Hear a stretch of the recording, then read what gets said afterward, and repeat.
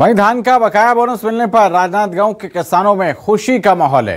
किसानों ने शहर में पटाखे फोड़कर जश्न मनाया और एक दूसरे को मिठाई खिलाकर मुँह मीठा कराया। किसानों ने कहा कि बीजेपी ने अपना वादा पूरा किया है। ले लिया ले लिया रे किसान जय जवान जय किसान ले लिया ले लिया ले लिया रे साल साल का बोनस ले लिया। ले लेके रहेंगे। लेके रहेंगे लेके रहेंगे। जय जवान। जय किसान।